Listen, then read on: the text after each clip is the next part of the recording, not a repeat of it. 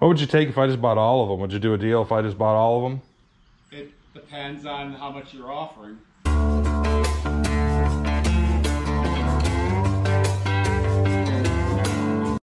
Morning. Good. How you doing?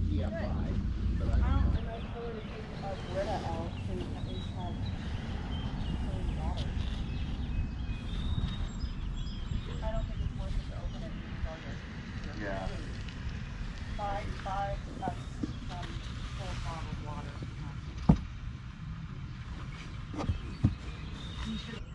How much are your hats? Oh, they're fifty cents a piece. Okay. You can dump them out if you wanna see what's in there. I don't see a sign, but I, I assume you're not just cleaning out the garage. There you go. Don't worry about the change. Oh, okay, Appreciate thank it. you Have a very good much. day. Morning.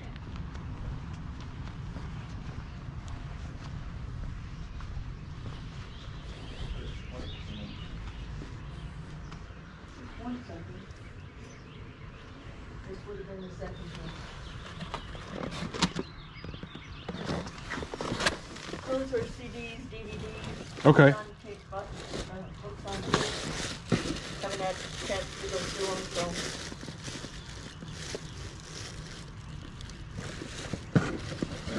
How much is your science fiction set? Oh, gosh. Five bucks? Let me think on it. I'll keep looking around.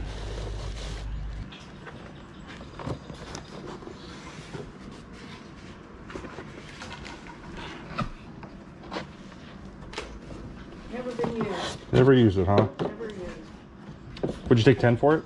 Sure. All right. I'm going to get your CDs here for five. So I get 15.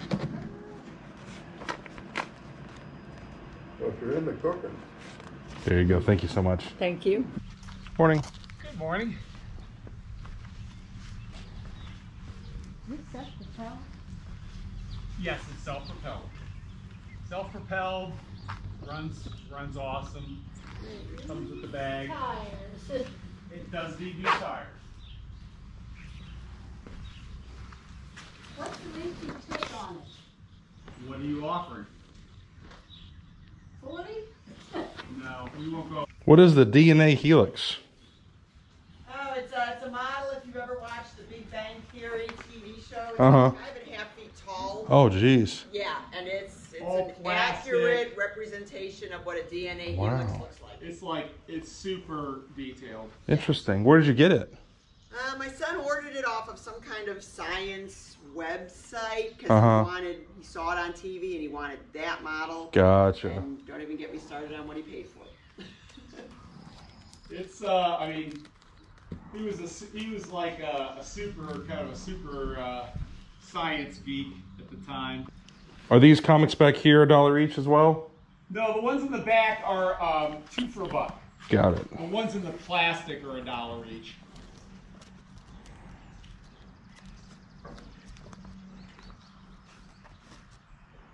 What would you take if I just bought all of them? Would you do a deal if I just bought all of them?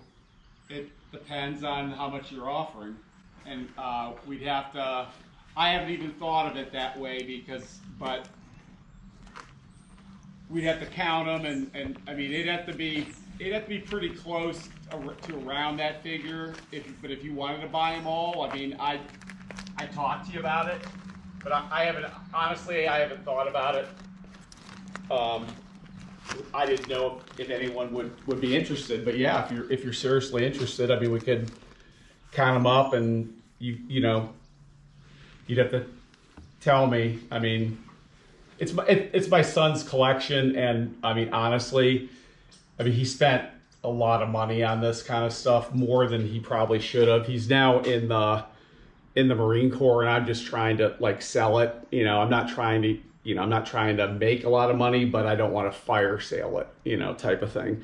But yeah, if you if you if you're interested and want to, you know, come up with a deal, you know, it had to be something. I, I mean, I, we, I go through it and we'll, we'll count them, and you tell me what you're interested in. Before we count them all up, how many, like, what's kind of your price per comic you got to be at?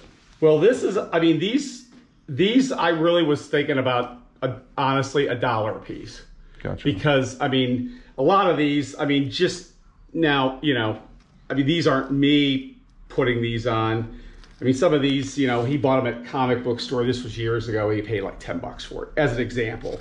Most of them don't have um, prices on it, but I mean, he paid, I'd say on average, he probably paid about 3.95 a comic. And this was when, you know, he's in his late 20s and this was when he was, you know, it was probably like he was 13, 14, 15 type of thing. So I was honestly thinking a dollar for these are really kind of fair. You know, that, um, you know, you know, I put 50 cents each. I mean, I'd maybe come down a little bit on this. I'd come down maybe slightly, but not not much more than under a dollar. Because I think honestly, I really do think these are fair. If somebody is interested in comics, um, these things are in are are honestly in pretty decent condition. Um, so kind of near this, maybe I do like, you know, like three for a buck or something for these, you Okay. know, type of thing. So, but I'm not gonna like do it like a quarter. Of Yeah, yeah, sure, yeah. like that. All right, thank you. All right. Yeah, if you want to come back at the end of the, you know, end of the thing, we can always talk. All right, have a good day. Thanks.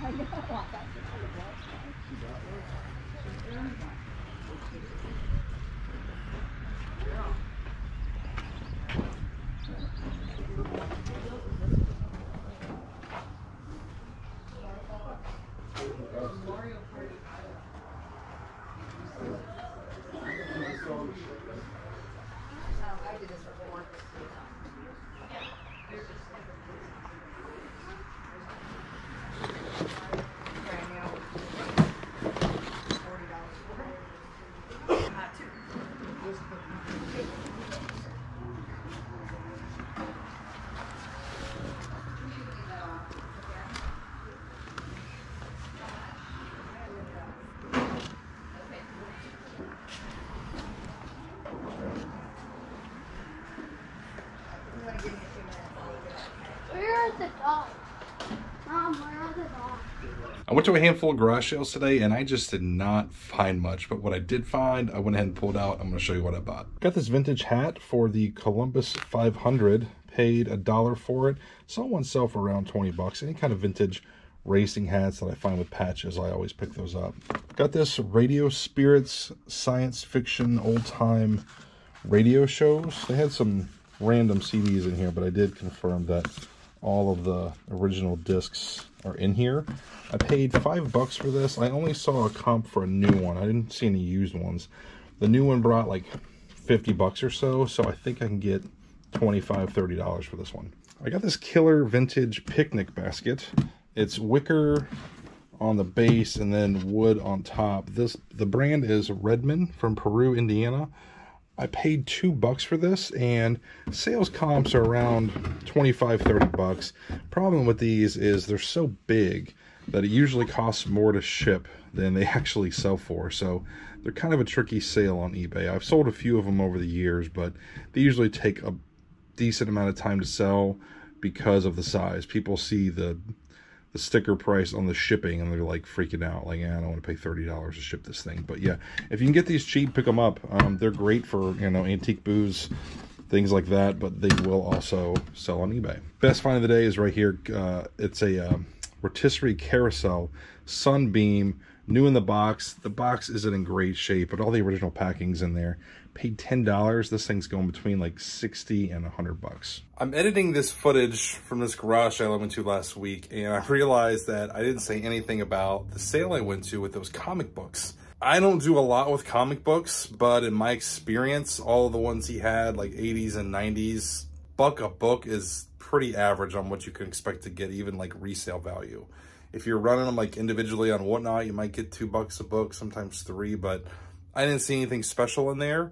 So that's why I passed on them. Um, I've done a lot of big bulk buys of comic books in the past, and I usually like to beat around like a quarter a book something like that because I'm probably going to try to offload them in bulk and maybe get 50 cents a book for them, something like that. So I always tread lightly on deals like that because he was wanting me to make an offer, but I was just kind of letting him kind of talk a little bit more and really get a good feel of where he was at.